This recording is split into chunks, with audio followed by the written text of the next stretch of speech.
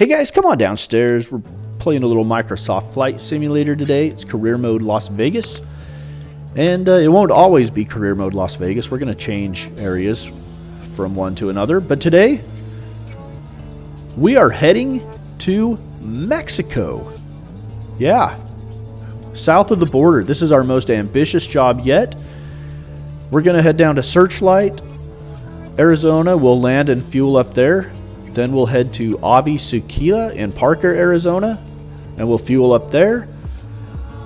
And then we'll go around this VOR to Desert Center Airport, where we will fuel up once again. And from there, I think we make it all the way down to Mexicali. There's the IPL VOR, which is just at the border and then we cross it into Mexicali. All right, there's a reason why we are stopping four times for fuel. Okay, I weigh 226 pounds. Our passenger, on the other hand, weighs 300 plus pounds. I don't know if I settle on 380. Did I settle on 380? I think I might have changed it and gone a little bit lighter. Yeah. 330. So she weighs 330 pounds and that puts us overweight. So we're going to cut back on the fuel. So we can't have as much fuel on board. And that's that's going to be an issue for us. So like we've got this 330 pound lady on board with us, okay? And if we want to be under our max takeoff weight, we can only carry like 5 gallons of fuel. That's nuts. okay, well, I don't know how realistic this is, but we're going to try it. We're going to do it. So we got just over 5 gallons of fuel on board.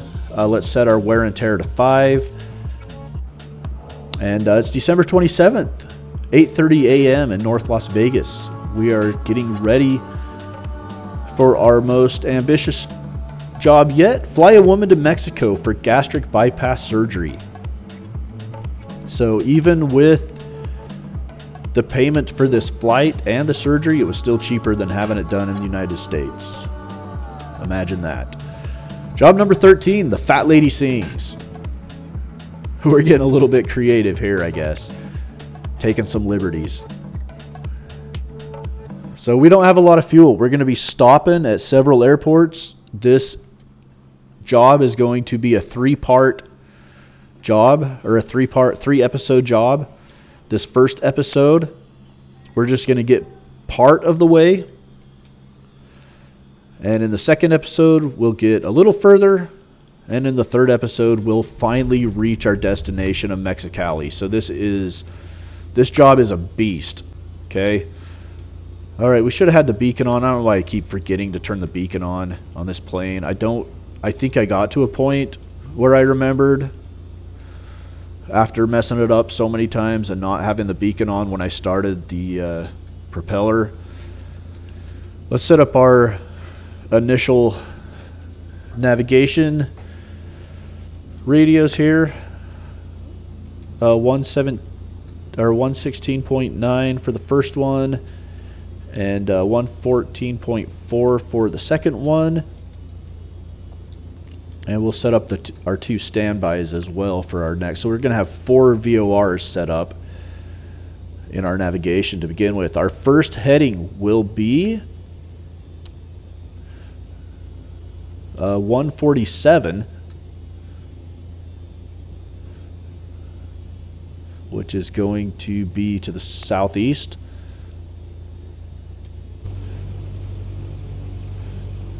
All right we'll back our mixture off a little bit while we are sitting here on the ramp. Uh, see, and I don't know if it needs to be backed off that far, but... Information Oscar 1600 Zulu. Wind 29er at tree.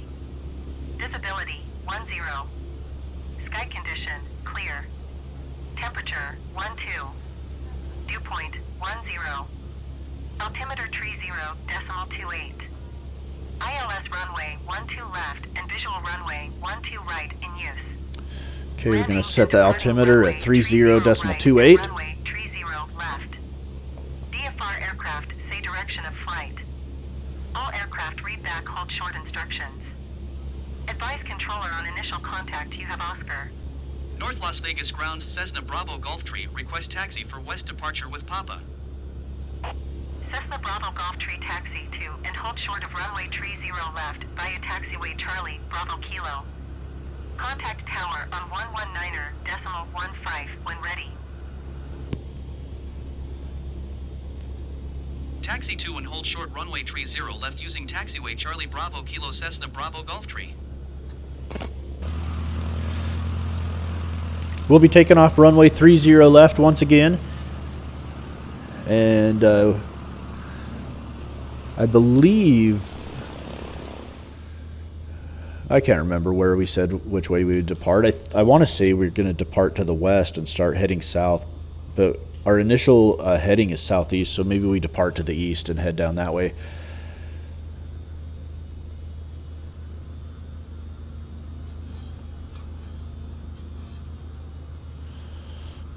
But if I if I think about this, I, I want to say our first waypoint is actually not a VOR, it's actually just a DME.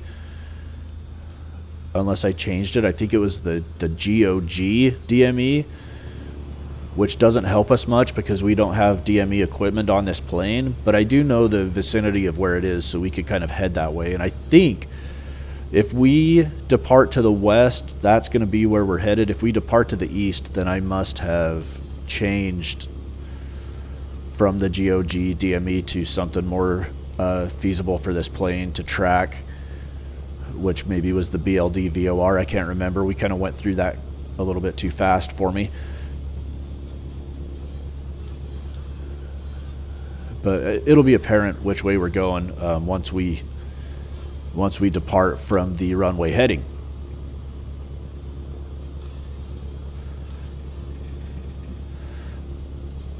All right.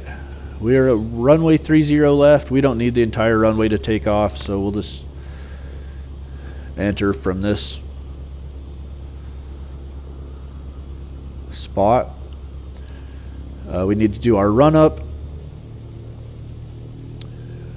We need to test the magnetos, magneto uh, cutoff test. Not sure how much of it I cut out or left in, but it looks like we're going to do the run up here, get up to about 1750 RPMs for a little bit. Yeah, it's flight simulator. It's never going to not like we're never going to do the run up and have it not be okay. but it's still fun to do. I remember a lot of a lot of times in some of my uncle's smaller planes where uh, we get out near the runway and, and do the run up. Las It's kind of fun. Tower Cessna Bravo Golf Tree at runway tree 0 left ready for departure departure to the west. Cessna Bravo Golf Tree altimeter tree 0 decimal 28 wind 29er at tree. Departure to the west approved. Okay, so we are departing to the west. Runway tree 0 left. We are departing to the west. Takeoff runway tree 0 left Cessna Bravo Golf Tree. So I believe we are headed to the GOG DME, and then from there, our direction will be southeast towards uh, Searchlight, the Searchlight area, which is going to be our first landing spot. Uh, guys, you're gonna seriously, you're gonna want to watch these three episodes because this trip, this trip got pretty wild. Uh, it was definitely not the smooth sailing that like the last seven jobs have been, seven or eight jobs have been. Uh, for one thing, we have a 330 pound lady sitting next to us. And it was very apparent. Like, A, the plane is wanting to pull to the right here on takeoff.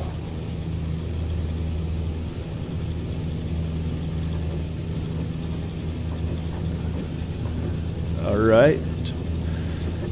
55, 60 knots, rotate, and you can see just right off of takeoff, our plane wants wants to dip to the right a little bit. So like flying this plane, you could very much, like you could very much sense the weight on that right side of the plane.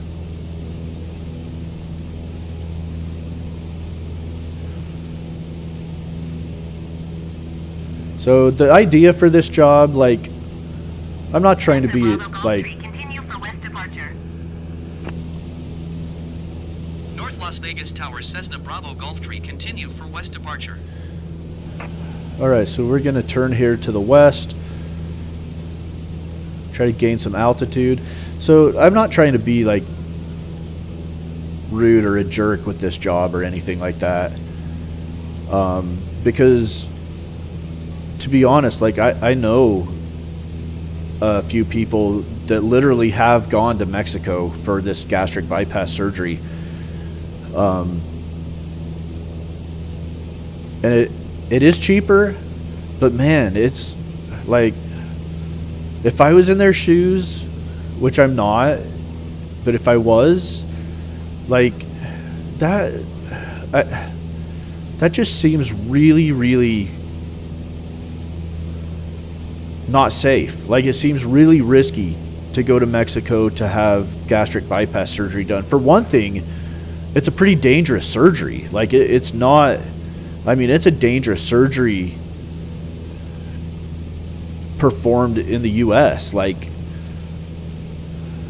like it, it's not like it's not like um, it's like a like a hernia surgery in the U.S. or something that you're taking a huge risk going to like a third world country like Ghana or something and having it done there. Like it's it's not like that. Like a hernia surgery in the U.S. is nothing, not really not risky at all for the most part. There's some complications, sure, I think, um, but like it's way riskier to do that type of surgery in like a third world country. And I'm not calling Mexico a third world country. This is the point I'm trying to make, is that it's not like a, a super safe surgery that you're going to a really unsafe place to do it. Like it's a pretty risky surgery even in a, a you know a safer place to do it like it's not it just doesn't seem like a, a surgery that you mess around with trying to do it cheaply. You know what i mean? Like eh, that's just that's just me. And granted it, you know it's not healthy and it's not safe to be that overweight either. So you know that's risky too. And i guess maybe if you do a if you do an honest analysis of it maybe it Las Vegas Tower Cessna Bravo Golf Tree frequency change. Maybe it is riskier to if you can't if you literally just can't afford it and don't maybe don't have the insurance to help Now cover it Cessna Bravo Golf Tree is type Cessna 152 tree miles southwest of North Las Vegas, 4,900 feet. Request Like- clearance to transition Bravo airspace. i like doing the atc when i'm flying but i'm not gonna lie when i'm doing the commentary when i'm doing the commentary the atc is a pain in the butt Squawk like- 04 Flight 6 Cessna Bravo Golf Tree. i'm in the middle of trying to make a point and the atc comes up and talks over me it's so frustrating but Las Vegas, 5,100 feet. Clear to the Bravo airspace. Maintain on navigation. Cleared through the Bravo airspace Cessna Bravo Golf Tree. but it is what it is. So we'll get that formality out of the way. There's a look at downtown Las Vegas. As we're heading off to the west. Um, so back to what I was saying, like maybe if you do an honest risk analysis of this, it's a nice look at uh, Allegiant Stadium where the Las Vegas Raiders play as well as the T-Mobile Arena right there, where the uh, Las Vegas Golden Knights play. As well as a nice shot at the Luxor Hotel, the Pyramid one. So very cool shot of Vegas right there. Um. Anyway, my ADHD has kicked in. Back to uh, what I was talking about. So if we do a a, a real honest analysis, maybe it is riskier to stay in the U.S., not be able to afford the surgery, and be unhealthy and overweight. And like, and I and I don't just mean a little bit overweight. Like I mean like you know the people that qualify for this uh, surgery, they're making some massive life changes. Like, and the reason they're doing it is so that they can have longevity in their life. Like I, like I wouldn't, I would never like make fun of somebody that's doing the surgery because I respect them, right? Because they're making a huge, like I know some people that have done it, and it's not easy, and it's not an easy decision because it is a risky surgery and it requires a lot of dedication and a lot of real desire to change. Like you've got to like in order for this surgery to work, like you have to change your diet and your eating habits. A lot, you know, like you have to make some massive life changes and commit to being healthy. Um, otherwise, you can end up back where you were before. So I, I do have known a couple of people that have gone to Mexico to do this surgery, and I look at them in kind of amazement, like I can't I can't believe you dared to go do that and not do it in the U.S. even though it's more expensive. But like, I mean, money doesn't grow on trees. I get that. Okay, like not everybody has great insurance that's going to pay for something like that. Especially if, if you know you're doing you know you're electing to do it and you know there might be some insurances that people have that just won't cover it. Like they look at it like plastic surgery or something like it's cosmetic or something like that. I don't know. You never know what insurance companies are going to try to do to get off the hook for helping somebody pay for something like that you just never know depending on the insurance company. So so I can see why somebody would go to Mexico to do this. I it kind of floors me that they would do it, but I'm not in their shoes. So so the basis of this job is that we're taking a lady down there to get this uh, very risky surgery done. Uh, this job is not, you know, it's not like I didn't just make this up to be funny or to like people actually do this. Like this is people actually literally yeah they're probably not going to hire a pilot to fly him down there but but like this is this job this could possibly actually happen like even paying the exorbitant prices that we charge in this series uh, it might be cheaper to pay somebody to fly them to Mexico in this fashion to get the surgery done than to pay for it in America. Like it, it's the sad reality, but it it's not unrealistic. Okay, so we've made it to the the GOG uh, DME a while ago, and we've changed direction, and we're heading south now. Um, we actually have made it to our first VOR even, and we're heading uh, south from that VOR. So we, we did all of that while I was talking about the surgery. So, and uh, we look down, we're starting to get pretty low on fuel. So we are starting to need to get to Searchlight, Arizona because we need to refuel already. Already. Well, we've been gone for 20 minutes. And we're already coming upon Searchlight. So we're starting to descend. You can see uh, we have our flaps down a little bit. We're trying to uh, try to control our speed as we come into Searchlight. So make our descent into Searchlight our first fuel stop. Now this landing in Searchlight, like this, this may be up to this point in this series, this is the roughest, most turbulent landing I think I have ever done.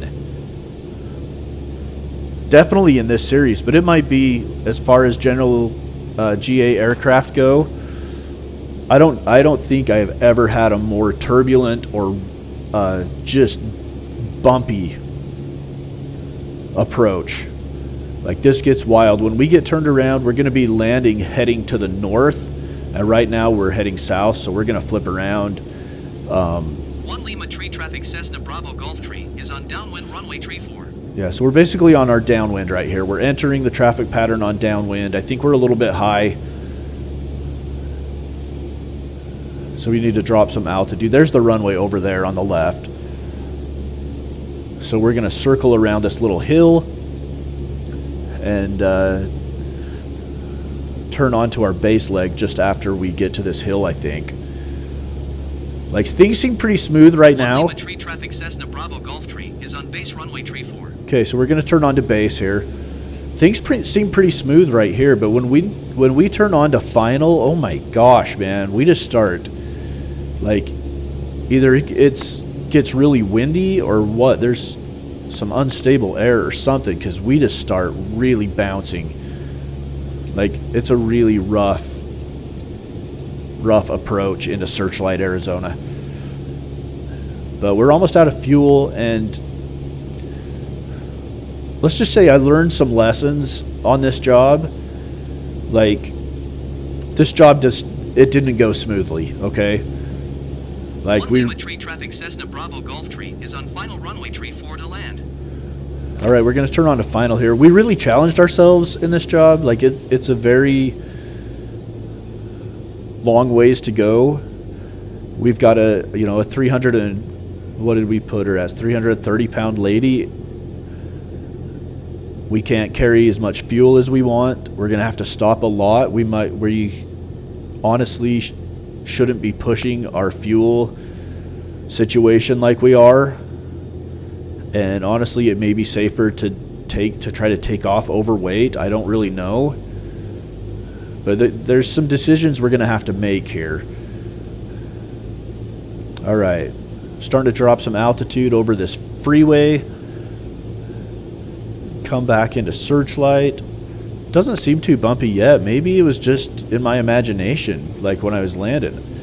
It, it did seem like a pretty stiff headwind. Uh, I mean, we're bu- we're bouncing a little bit, and maybe I'm just fighting it more than you can tell on the video. I don't know. I just remember when I was landing, I was like, "My goodness, this is I'm having a hard." There we go. Now see, now we're starting to get some downdrafts or you know, starting to lose some lift. We're at 50 knots. We probably should be around 60. We need to try to speed up here. There we, yeah, we're really, we're starting to really hit some turbulence here. And I'm really having to fight. Like you can see in the lower side of the cockpit how much I'm fighting with the yoke. Look at this. My yoke the yoke is just going back and forth and left and right and yeah this was this was pretty uh, this was a white knuckle landing because like the plane just kept dipping on me like and we're near stall speed like we should have more speed but the wind is really strong headwind. Like my goodness we're still hitting bumps right here like the turbulence. And finally we get to here and it starts to smooth it out a little bit. But we still still are floating a little bit my goodness. But man that was butter.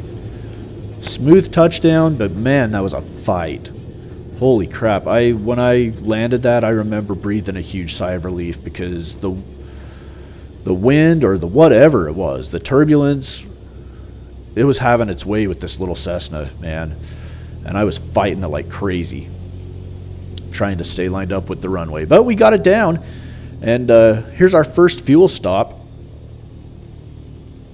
Again, you're going to want to stay with us through uh, all of these three episodes because it gets pretty crazy.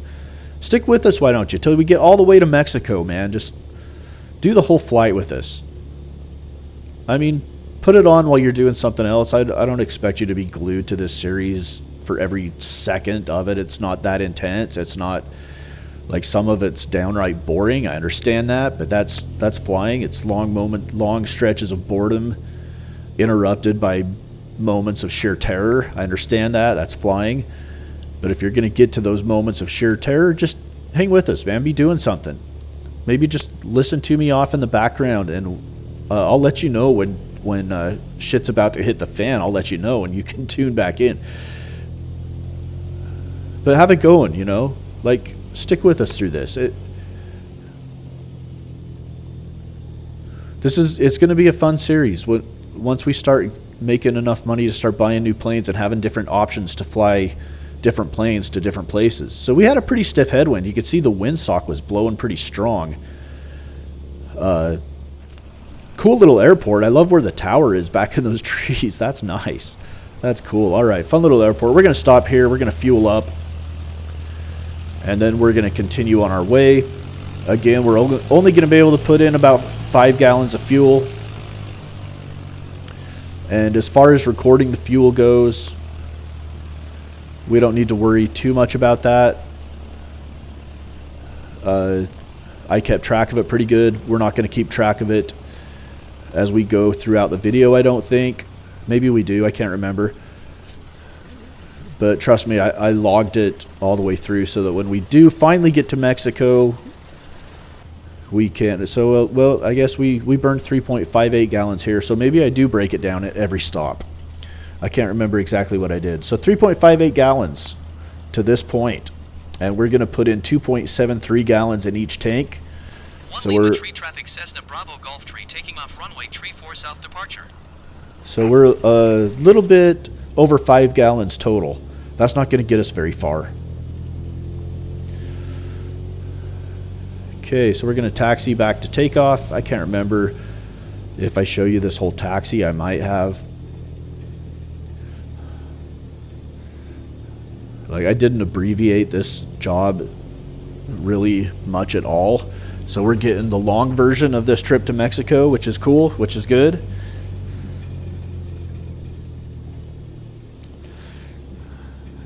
But yeah, there's a pretty stiff headwind. We've got to go all the way down uh, to runway 34 and turn around here.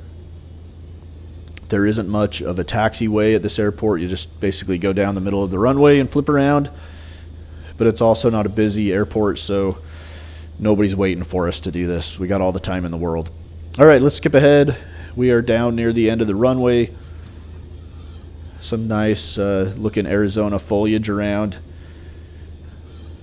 We're not quite down into the cactuses, the cacti yet. I don't think.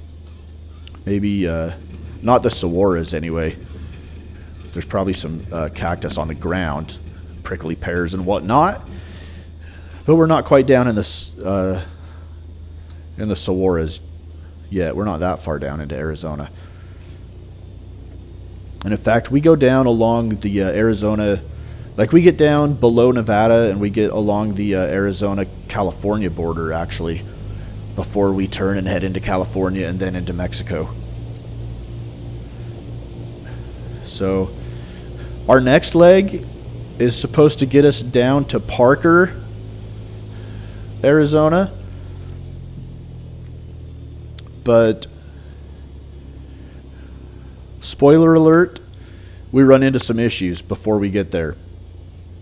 So you're going to want to stay tuned for this leg for sure because before before we reach Parker, Arizona, there's there's some uh, slight complications of this flight.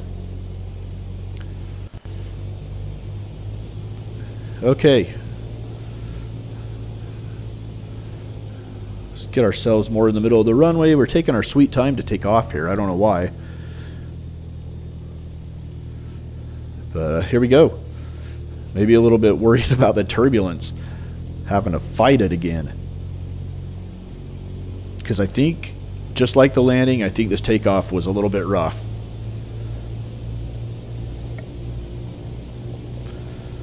So here we go. We begin our second takeoff roll of this trip to Mexico. We got a long ways to go still, guys. We did not get very far. We fueled up to five more gallons, so we're just under our takeoff weight, max takeoff weight. Uh, 55 knots, rotate.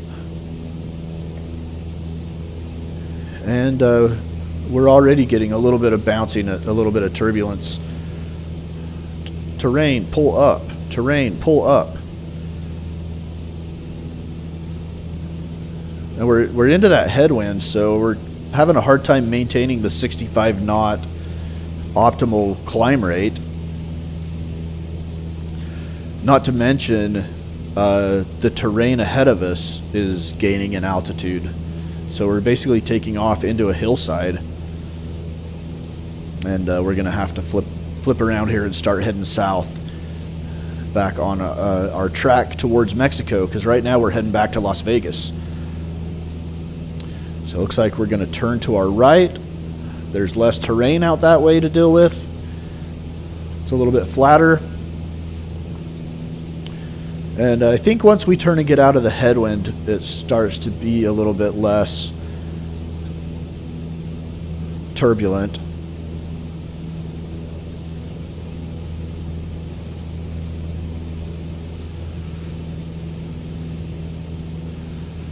So this is leg one or uh, part one of job number 13. We're in our second leg of this flight to Mexico, second of uh, what was initially planned to be four legs.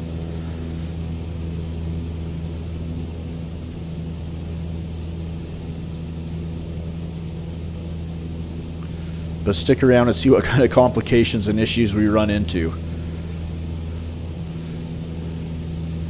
We've compromised our fuel situation in order to fly this lady. She's willing to pay a lot.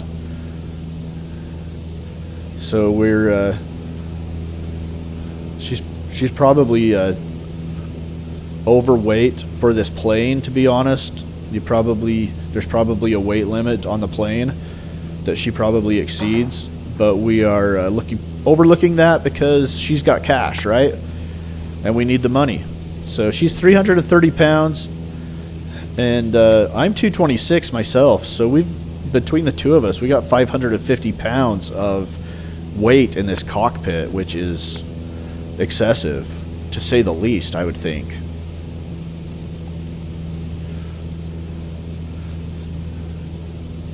So, man, my kids are being so good. They're being so good and quiet. This is the second video I've done this morning. Actually, it's the third video I've done this morning. So they've been super quiet for like well over an hour. They're doing really good. They're they're gonna get a frosty or something. That's the that's the goal. That's why they're being quiet, so we can go get lunch and get a frosty. Right, guys? Yeah. Okay, I'm still working on my video, so let's be quiet for a little bit. You want to say hi to everybody? Say hi. They're cute. All right. We're heading back down south now. We've flipped around. And uh, we're heading away from Searchlight, Arizona. We uh, stay on this western edge of Arizona as we skip ahead a little ways, heading towards Parker, Arizona. Again, the desert is fantastic to fly over. I say it every single episode. The uh, amount of different elevations, the shadows created by all of the uh, little canyons and runoffs and gulches and gullies and all of that is very, very fantastic, very cool.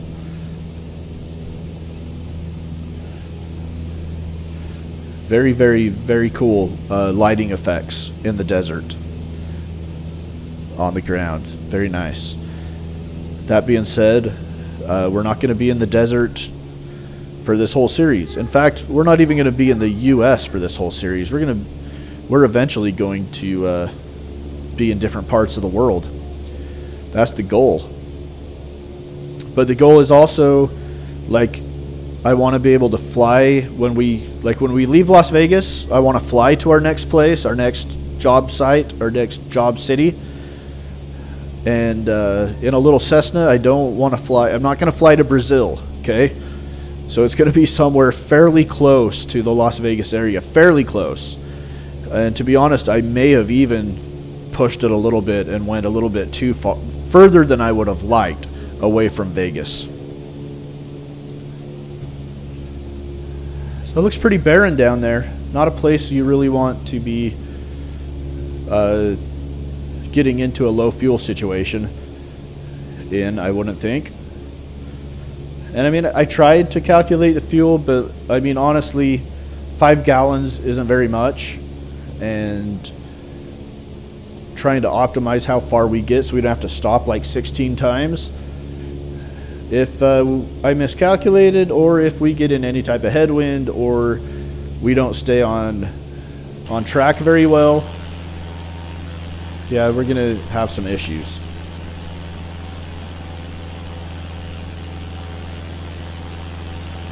So, and this, I think this leg, this second leg, was actually the one that we're pushing it the most, trying to get to Parker, Arizona.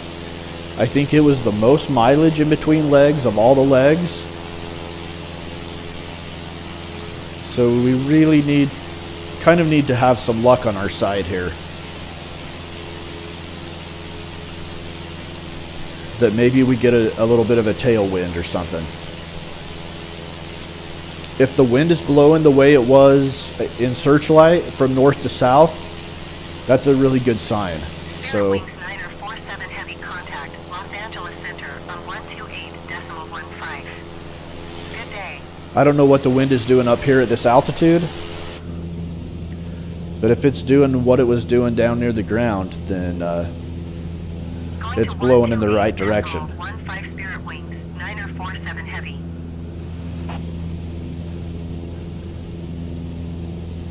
Again, this is part one of a three-part job, job number 13. We're really challenging ourselves here. Not only are we going further away from our North Las Vegas home base than we've ever gone, we're also really pushing it with our weight restrictions.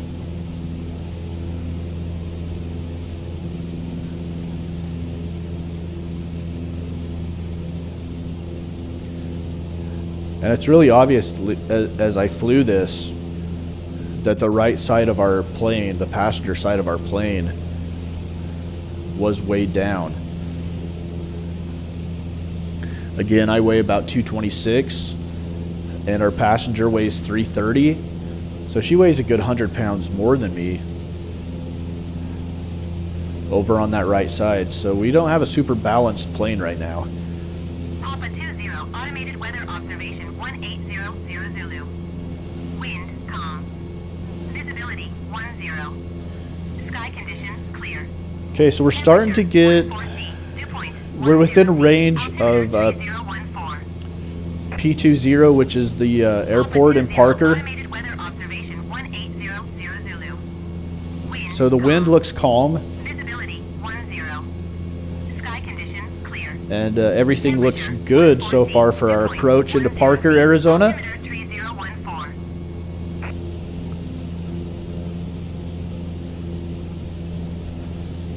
Papa 20 traffic Cessna Bravo Golf Tree, 5 tree miles northwest Oh my gosh. feet inbound to land runway 19er. But we are 53 miles northwest still.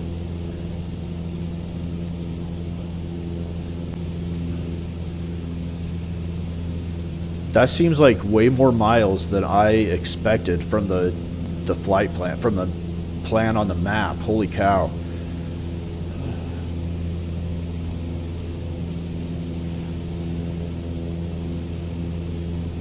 We've, I think, hopefully we've got a little bit of a tailwind. But that's a lot of mileage to go. Uh, holy crap, dude. We're almost, we're uh, getting low on fuel too. I thought we were a lot closer than 53 miles.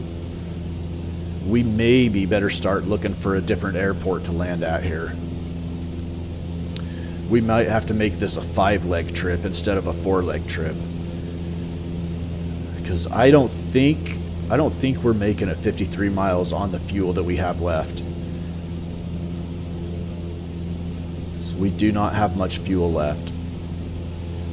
We don't have a digital gauge that tells us exactly how much fuel we have left, like some planes do. But our needle is getting fairly low down there. And I don't know where the where where the cutoff is. I've never pushed it like this before, so so we'll see. Uh, we probably at this point should be looking for different airports, but I don't think I had it in my mind to. Yet, hindsight is, is 2020. I definitely at this point should have been looking for airports, and you can probably guess what's about to happen because I uh, am not looking for a closer airport to land at. I uh, am being stubborn. I've got my head down and trying to plow through to Parker, Arizona, and uh, maybe I didn't notice how low I was on fuel, but I can see it right now that our fuel situation is not looking very good. We are at 6,800 feet. Maybe it burned more fuel to climb out of Searchlight than I anticipated. I don't know. There could be a lot of factors, and maybe I just flat out miscalculated the length of this leg from Searchlight to Parker.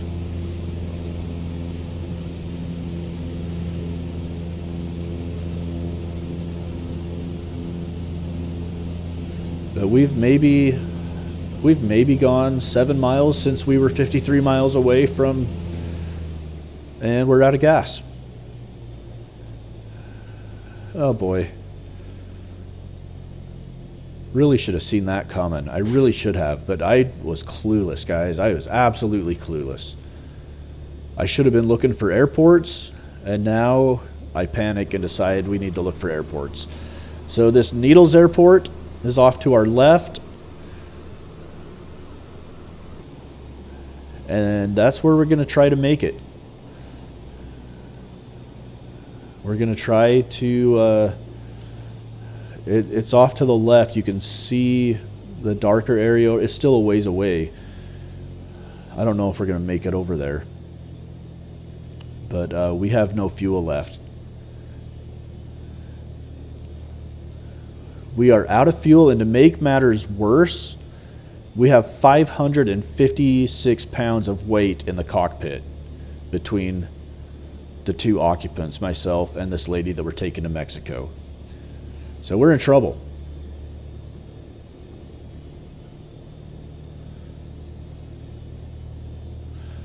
All right, so Needles is over there, I believe, by that lake.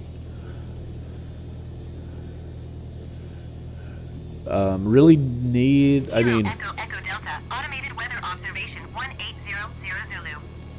Wind 269er at tree.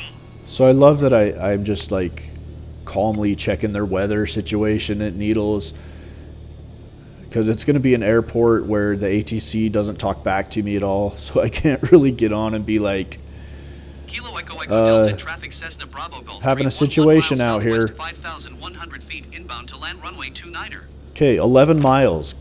Can we can we uh, make it 11 miles? Uh, we're down to 60 knots. We got to. I mean, the the issue we have here is we're going to have to keep trading altitude for speed.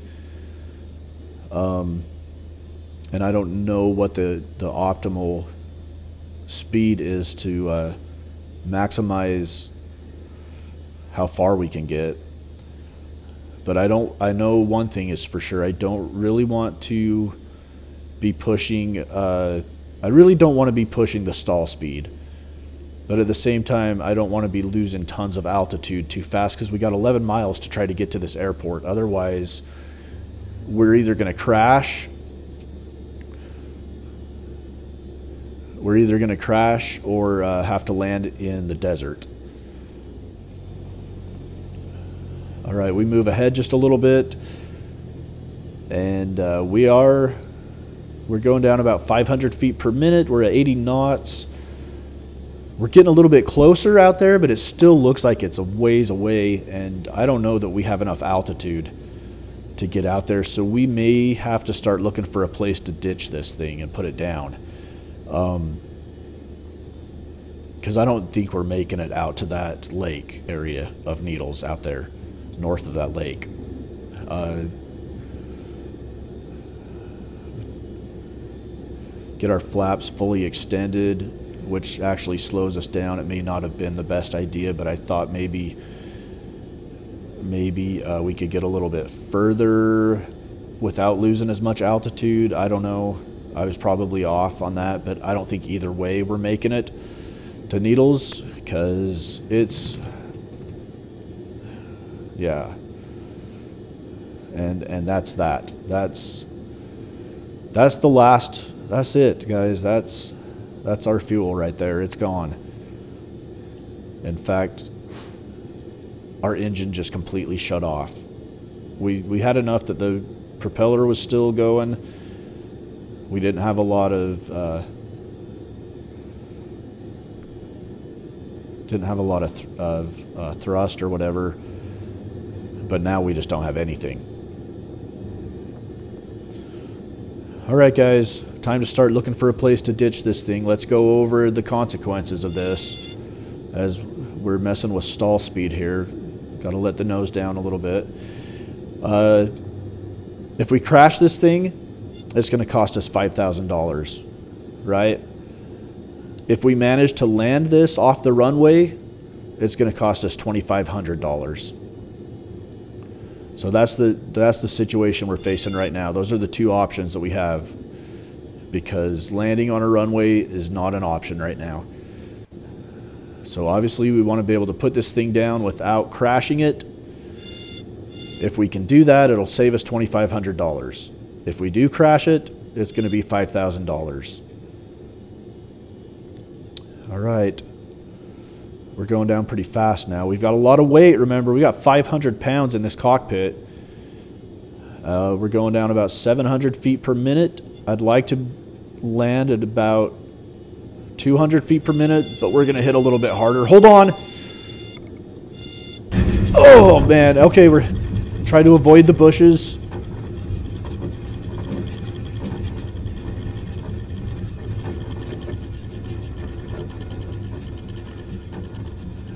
Looks like we're going to be able to come to a stop without hitting anything. And the land was fairly flat, thank goodness. Whew, all right. that wasn't where we wanted to end up. But we're somewhere out here in the uh, California desert. We've got 0.75 gallons in each tank. And apparently that's not enough to keep the engine going. And so that's where we're going to leave off part one of this trip to Mexico. Things not going smoothly. We've run out of gas. We're somewhere out in the desert, and we're going to need to have somebody tow us in to the nearest airport. It's Mama's Basement, Career Mode Las Vegas, a Microsoft Flight Simulator.